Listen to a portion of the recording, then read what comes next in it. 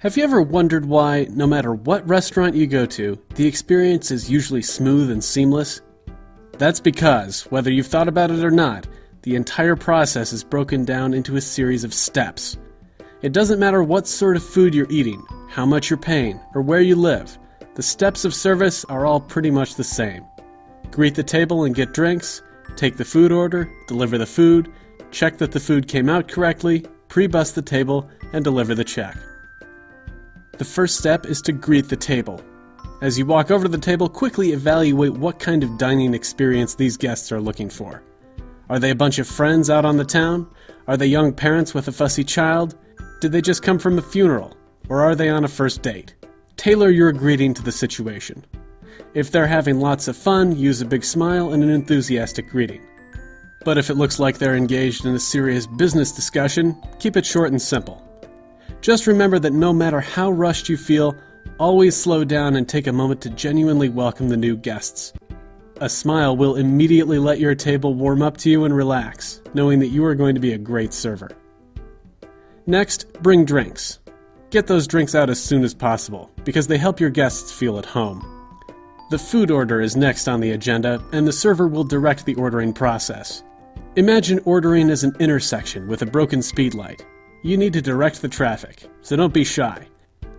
Also, if the table looks like they might want to split the check, for example, two couples or a group of friends, this is a good time to ask. Next, bring the food.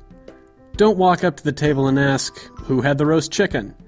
Instead, know what seat number the food is going to and say, The roast chicken, no asparagus, miss.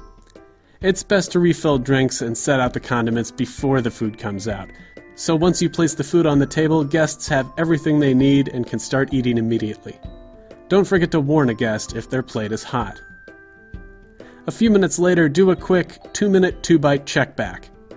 Once they've had a chance to take a couple of bites, ask them how everything is going. This gives them an opportunity to perhaps ask for more mustard or point out something that's missing from their order. Failing to check back on a table after they have their food can ruin a guest's experience. So if you don't have time to immediately check back, ask a coworker to do it for you. This is also a great time to mention dessert. Say something like, Our molten chocolate cake goes great with a cup of coffee after dinner. Be sure to ask about dessert before clearing the entree plates, because at that point the guest may feel ready to leave. While your guests eat, it's time to start pre bussing.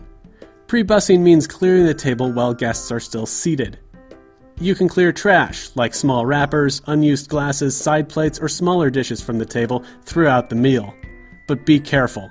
Clearing dirty entree plates too soon can make the others at the table feel rushed and uncomfortable. Instead, wait until all the guests have finished eating, or until they've requested to go boxes. If you have more than four people at a table, ask an available coworker, such as another server or busser, to help you clear plates. The only thing that should be left after each course are any glasses still in use. Don't wait to be asked for the check. While the guests are finishing their dessert, set the check in a central place on the table, unless someone has specifically asked for it. Tell them that you are setting it there for their convenience and to take their time. If they turn down dessert, go ahead and leave the check at that point. Thank your table sincerely and let them know you're looking forward to them coming back soon. We want all our customers to be repeat customers. Let them know if the restaurant is doing anything special in the near future, like hosting a wine tasting or releasing a new menu. Or, if a nearby venue will be hosting some event soon, let them know about it and then encourage them to drop by the restaurant while they're in the area. Knowing what's going on in and around your restaurant is a great way to get customers coming back for more.